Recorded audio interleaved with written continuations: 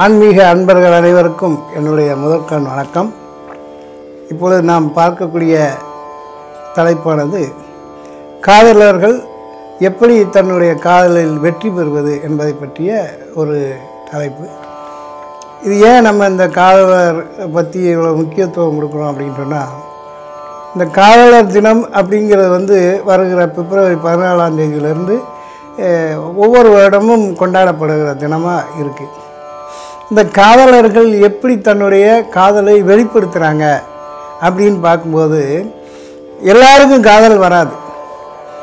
ஏன்னா அப்படி ப அப்படியெல்லாம் எல்லாரும் காதல் பண்ணால் அரேஞ்ச் மேரேஜே இல்லாமல் போயிடும் அப்போ அந்த காதலர் அப்படிங்கிறவங்க தன்னுடைய ஜாதகத்தில் ஐந்தாம் இடம் ஏழாம் இடத்தை வச்சு தான் காதலுங்கிறது வெளிப்படுது. இதுக்குரிய முக்கியமான கிரகங்கள் புதனும் ராகும் அப்போ அந்த காதல்னு சொன்னாலே அந்த காதலில் இனிமையான வார்த்தைகளை கொடுக்கக்கூடியவர் வந்து புதன். அதை கெட்டியாக பிடிச்சிக்கிறவர் ராகு.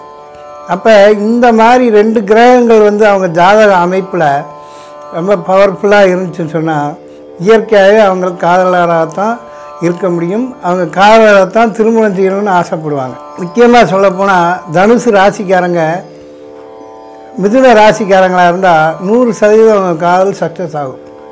காரணம் என்னென்னா தனுசுக்கு வந்து அந்த ராசிக்குரிய சிம்பல் வந்து அம்பு வில் அங்கே எழுத்தாப்பில் ரெண்டு கன்னி.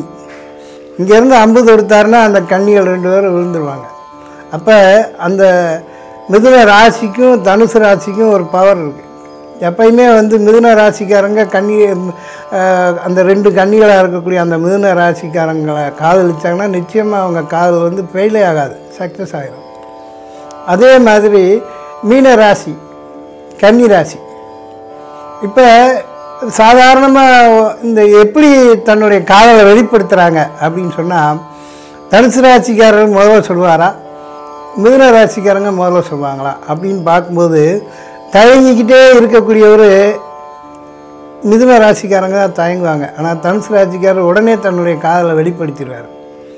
ஏன்னா அவர்கிட்ட தான் அம்பு வில் இருக்குது சரணு விட்டுருவாங்க. இன்றைக்கி காதலருக்குரிய சின்னத்தில் இதயத்தின் மேலே அம்பு வி- விட்டுற மாதிரி நம்ம ஒரு சிம்பல் போட்டிருக்காங்க. அதுக்கு என்ன காரணம் அப்படின்னா இந்த அம்பு அந்த காதலுங்கிற அந்த அந்த நோக்கத்தை வந்து பார்வையாக செலுத்தி அந்த காதலை லைக்க வைக்கிறாங்க அப்படின்னா அதுக்கு முக்கியமாக அம்பு வில் தான். அந்த அடிப்படையில் பார்க்கும்போது மிதுன ராசிக்காரங்களை முதல்ல தயங்கிக்கிட்டு இருப்பாங்க. ஆனால் தனுசு ராசிக்காரர் ஓப்பனாக சொல்லிடுறாரு. அதே மாதிரி மீன ராசி கன்னி ராசி அப்படின்னு சொன்னால் இவங்களுக்குள்ள வந்து காதல் அதே மாதிரி. அந்த ரெண்டு மீனும் வந்து சிம்பிளாக சொல்லியிருக்கு மீனராசிக்கு. கன்னிராசிக்கு கன்னி ராசிக்கு ஒரு கன்னியாக சொல்லியிருக்கு. அப்போ இந்த இடத்துல வரும்போது அந்த மீன் ரெண்டுமே இப்படி சுற்றி சுற்றிக்கிட்டே வரும். அப்போ ஒரு வலை மாதிரி அந்த இடத்துல காதல் வலை வீசிக்கிட்டே இருப்பாங்க. அப்போ வரும்போது என்னாகும்? இதில் முதல்ல வெளிப்படுத்துகிறவர் யாராக இருப்பாருன்னா கன்னி ராசிக்காரர் தான் தன்னுடைய காதலை முதல்ல சொல்வார்.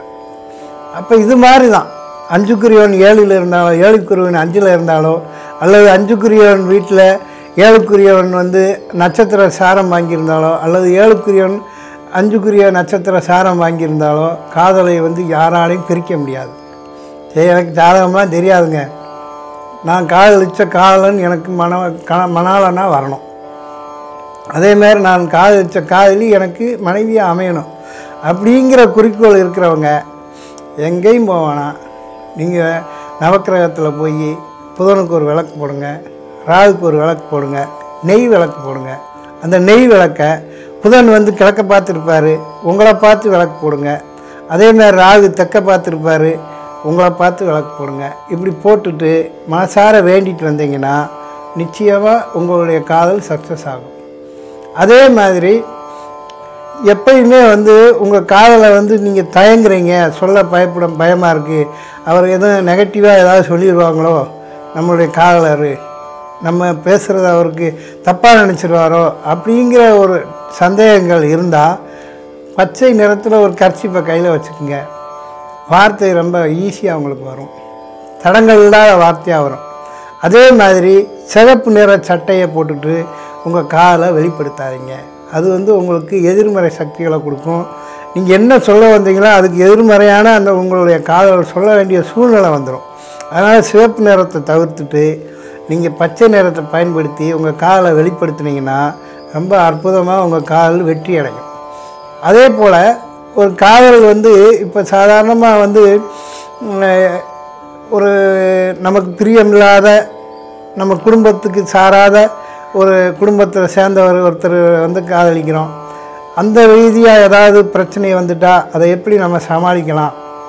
இப்படி ஒரு பயம் உங்களை உங்களை அறியாமல் நம்ம அப்பா அம்மா சமூகத்தோடு பண்ணலாமா? இல்லை எங்கிட்டாவது போய் கூட்டிகிட்டு போய் கல்யாணம் பண்ணலாமா? அப்படின்னு ஒரு டிஃப்ரெண்ட்டான ஒரு நிலை ஏற்படுது அப்படின்னா அதுக்கு ஈஸியாக உங்களுக்கு வந்து பெண்களாக இருந்தால் செவ்வாய்க்கு அதே மாதிரி நெய் விளக்கு போடுங்க.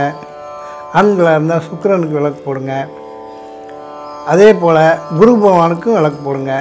இந்த மூன்று பேருக்கும் நீங்கள் வந்து நெய் விளக்கு போட்டு உங்களை பார்த்து அந்த நெய் விளக்கு ஏற்றுனீங்கன்னா உங்கள் காதல் வந்து நூற்றுக்கு நூறு சக்ஸஸ் ஆகும். எப்பயுமே இதயம் அப்படின்னா அது ரோஸ் கலராகத்தே இருக்கும். நீங்கள் சிகப்பாக திங்க் பண்ணக்கூடாது. ரோஸ் கலராகத்தையும் திங்க் பண்ணணும். அதை சிகப்பாக திங்க் பண்ணிங்கன்னா நிச்சயமாக அது உங்களுக்கு எதிர்மறையான விளைவுகளை தரும். அதை நீங்கள் ரோஸ் கலராக திங்க் பண்ணிங்கன்னா உங்கள் மனசில் என்ன எண்ணங்களோ அதை வெளிப்படுத்தக்கூடிய வாய்ப்புகள் கிடைக்கும். காதலர்களாக இருக்கக்கூடியவங்ககிட்ட எந்த விதமான வெறுப்புணர்வுகளும் வராது. அப்போ பச்சை மயில காதல் கடிதம் எழுதுங்க. பச்சை நிறத்தில் உள்ள துணிகளை போடுங்க. எப்போ வேணாலும் நீங்கள் வெளிப்படுத்தும் போது பச்சை நிறத்தில் உள்ள அந்த நிறம் வந்து உங்களை சுற்றி இருந்தால் நிச்சயமாக உங்களுடைய காதல் வந்து முழு வெற்றி அடையும் அதனால தான் நிறையா காதலர்கள் பூங்காவில் இருக்கக்கூடிய பச்சை செடிகள் இருக்க பக்கத்தில் போய் தன்னுடைய காதலை வெளிப்படுத்துவாங்க. இது யதார்த்தமாக நடக்கக்கூடியது. ஆனால் உண்மை என்ன அப்படின்னா எங்கெல்லாம் பச்சை நிறங்கள் இருக்கிறதோ அங்கெல்லாம் அன்பு என்ற காதல் வெளிப்படும். அதனால் காதலர்கள் இந்த பிப்ரவரி பதினாலில் அருமையாக கொண்டாடுங்க சிறப்பாக கொண்டாடுங்க கொண்டாடிட்டு நான் சொன்ன இந்த விஷயங்களை ஃபாலோ பண்ணுங்கள் அடுத்து கணவன் மனைவியாக நான் வந்து நீங்கள் சொன்ன மாதிரி பரிகாரம் பண்ணி கணவன் மனைவியாக நாங்கள் இன்றைக்கு திருமணம் பண்ணிட்டோம். எங்கள் குடும்பத்தாருடைய ஒத்துழைப்போடு திருமணம் பண்ணியிருக்கோங்கிற ஒரு நல்ல செய்தியை எங்கள் எங்களுக்கு தெரியப்படுத்தினீங்கன்னா அது நான் இந்த வீடியோவை வெளிப்படுத்தினதுக்கு ஒரு பெரிய பலனாக கருதுகிறேன். ரொம்ப நன்றி.